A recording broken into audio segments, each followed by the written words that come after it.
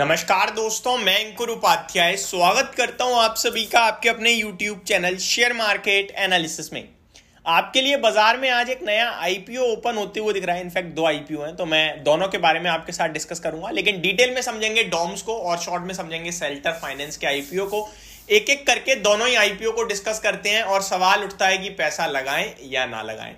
इसके बारे में, लेकिन सबसे इंपॉर्टेंट मेरे लिए ये है कि मैं आपको कुछ ऐसी चीज़ें बता सकूँ जो आपके काम लाइफ लॉन्ग आने वाली हैं। तो स्टार्ट करते हैं। सबसे पहले ना, आप आईपीओ का नाम भूल जाओ अभी, डॉम्स। आपको सिर्फ़ आईपीओ समझ में आना चाहिए। इनिशियल पब्लिक ऑफरिंग आईपीओ आप जब भी किसी भी आईपीओ में पैसा लगाने जा रहे हैं, किसी भी ए टू जेड कंपनी आपने डिसाइड कर लिया, मेरे को पैसा लगाना है इस आईपीओ में, ये मेरा फेवरेट है।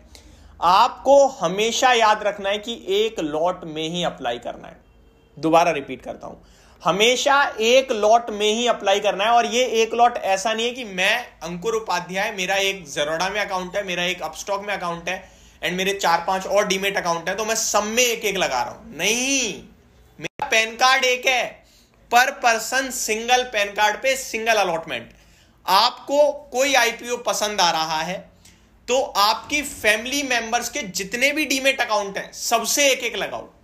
तब चांसेस बढ़ते हैं आपके अप्लाई अलॉटमेंट मिलने के। ये नहीं होता कि आपने सारे डीमेट अकाउंट अपने सब डीमेट अकाउंटों में लगा दिया। अरे उससे क्या लेना देना? एप्लीकेशन एक पर्सन की ही है, ठीक है? लेकिन वहीं मेरे फैमिली में मेरे माता, पिता, बहन, भाई सबका डीमेट अकाउंट है। मैंने सारे डीमेट अकाउंट से एक एक लगा दिया। तो दस लोग हो गए यार पाँच सात लोग हो गए। उन पाँच सात लोगों में एक को भी मिला तो मेरे पास आ गया मान के चलूँगा मैं। समझ गए? अब मैं ये क्यों कह रहा हूँ, एक लॉट एक लॉट की वैल्यू होती है चौदह हज़ार से पंद्रह हज़ार की रेंज में। मैक्सिमम जो लॉट में पैसा लगाते हैं आईपीओ के, वो पंद्रह हज़ार होता है और मिनिमम चौदह हज़ार के समथिंग होता है। इससे छोटा आईपीओ बहुत रेयर मिलता है। तो चौदह हज़ार जैसे अभी डॉम्स की बात करें तो चौदह हज़ार दो सौ का इसका पैसा लगेगा एक लॉट के लिए, क्योंकि अठारह क्वांटिटी का लॉट साइज़ है सेवन नाइनटी का अपर बैंड है। ठीक है सेवन नाइनटी इंटू एटीन करोगे तो फोर्टीन थाउज़ेंड टू हंड्रेड के समथिंग आ जाएगा।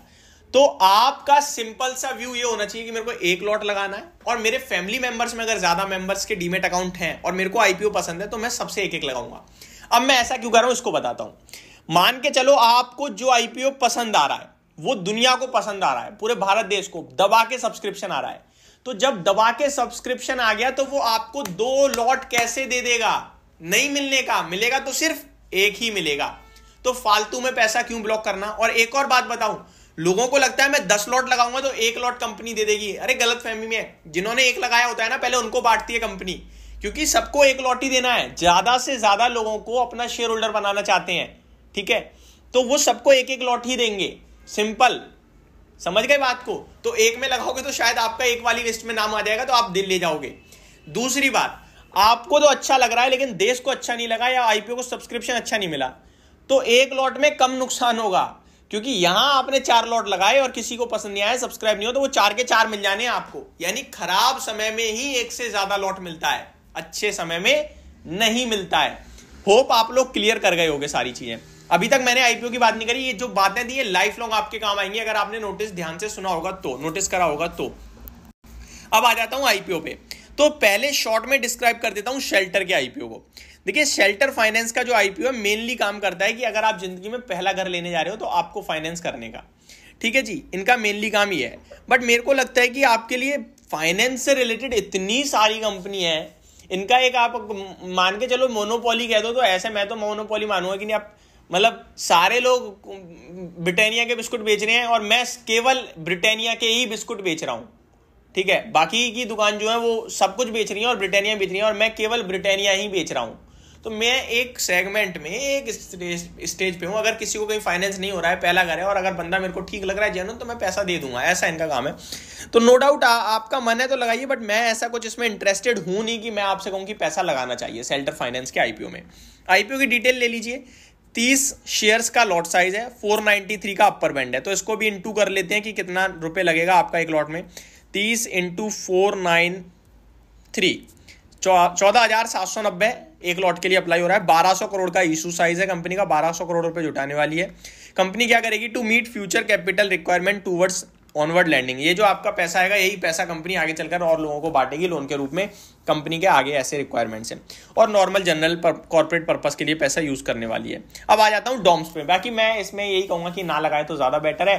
दो रीजन है मार्केट लाइफ लाइफ हाई तो हमेशा बनता रहेगा बट मार्केट हाइस पे है तो नीचे आ सकता है तो ग्रे मार्केट प्रीमियम भी टूटेगा और लिस्टिंग भी थोड़ी डगमगा सकती है। और दूसरी बात, ऐसा कुछ मेरे को इंटरेस्ट भी नहीं आ रहा है। डॉम्स का आईपीओ इंटरेस्टिंग हो सकता है। क्योंकि अभी रिसेंटली सेल्लो का आपने आईपीओ देखा, जो 20 परसेंट ऊपर ट्रेड कर रहा है। आपने फ्लेयर राइटिंग का आईपीओ देखा 27 परसेंट ऊपर ट्रेड कर रहा है। डॉम्स के आईपीओ की बात की जाए तो वैल्यूएशन वाइज ऐसा कुछ नहीं कि बहुत सस्ता है। महँगा भी नहीं है। तो यहाँ भी 15 20 30 परसेंट तक के 15 से 30 परसेंट के रिटर्न के लिए आप अप्लाई कर सकते हैं, लेकिन लॉन्ग टर्म के लिए इन्वेस्टमेंट की राय नहीं है। अप्लाई इसलिए कह रहा हूँ क्योंकि अभी रिसेंटली दोनों आईपीओ जो आए हैं इन कंपनी को, दोनों को पॉजिटिव रिस्पॉन्स आया है और अच्छी लिस्टिंग हुई है।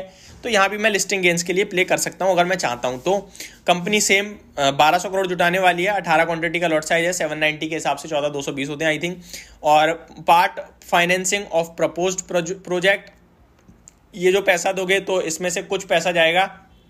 इनका फाइनेंसिंग को, जो इनका प्रोजेक्ट है उसके लिए और जनरल कॉपरेट पर्पज के लिए यूज़ करने वाले हैं इस पैसे को। तो ये मेरी तरफ़ से आपके लिए डिटेल वीडियो होप आप लोगों को आईपीओ को लेकर थोड़ी सी मदद मिली होगी आपका डिसीज़न लेने में। Thank you so much for watching this video have a great day guys